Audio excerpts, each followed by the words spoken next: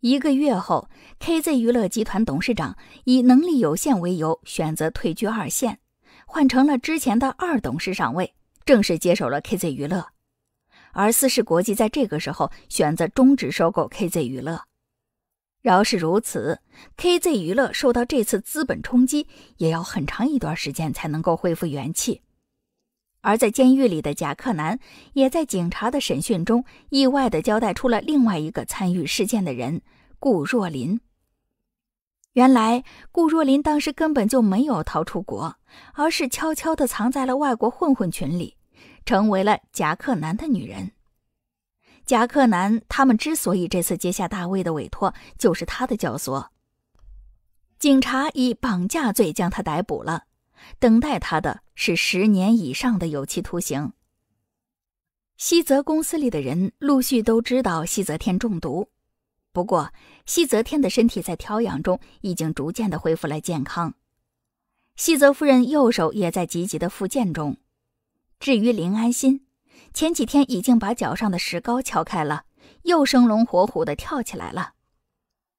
因为他意外受伤，池恩恩、厉北绝。池宝贝和诺诺都飞到了外国来了，就连霍雷霆也带着金志轩一起来了。池恩恩无可避免的与西泽烈碰了一次面，弄得某个人又吃了一大通的肥醋。池宝贝则是带着韩小若，每天都在医院里面陪着林安心。在林安心办理出院的头一天，思辰国内有急事儿，先飞回去了。林安心没有办法，只有和吃宝贝他们一起办理出院。等到他办完了出院，吃宝贝又闹着庆祝他出院，给他买了一条裙子。裙子买完穿在身上，林安心已经想回去了。我的宝贝儿啊，我们先回去了吧，我的肚子都饿扁了。你都逛了几条街了，我来不及了。吃宝贝今天破天荒的穿了一件西装，少年初长成，帅得夺目。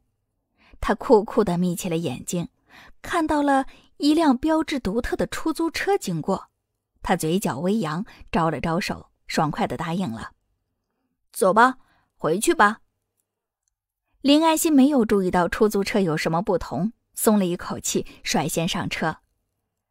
车子平缓的朝着市中心开去。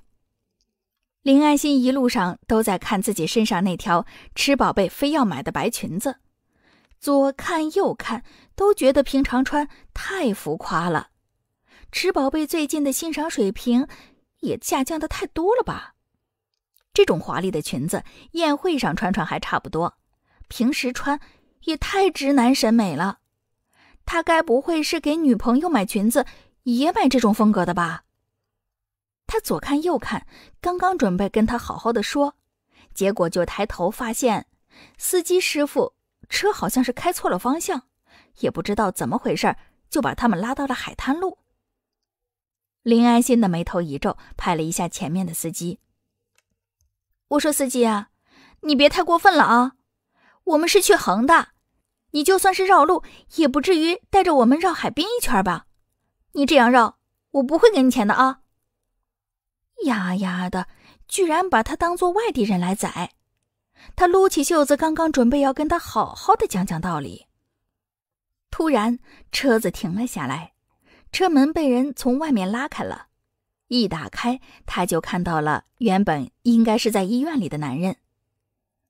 爸，西泽天西装革履，今天打扮的格外的正式，整个人都透着喜气。西泽夫人也穿着大红色的晚礼服裙，唇角含笑，也是喜不自胜的样子。她就算是反应再慢，也反应过来了。你们怎么会在这里啊？现在什么情况？林安心整个人都处于蒙圈中。下了车，看到海滩边上盛大的布置，灯光、烟火，无数名流穿梭，婚礼进行曲的现场乐队。还有那一个站在终点说是回国了的男人思辰，是他，他从一开始就策划了婚礼。宝贝儿啊，爸爸送你过去。西泽天让他挽着自己的手，西泽夫人走在他的右边，把他带到了红毯上，四周的宾客欢呼鼓掌，海滨的烟火冲天。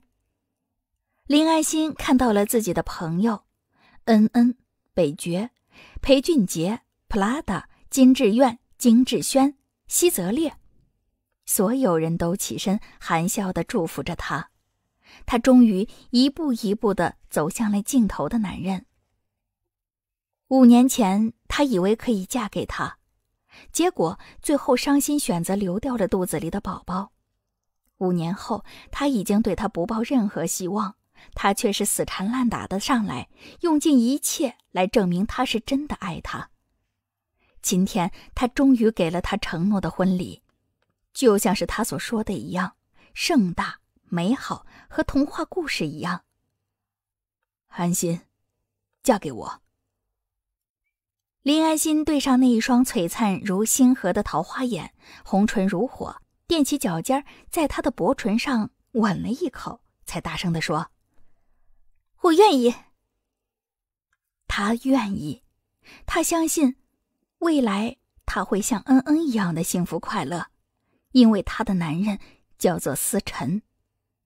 深情不及久伴，厚爱无需多言。亲爱的听众朋友们，本书全部播讲完毕，感谢您的收听。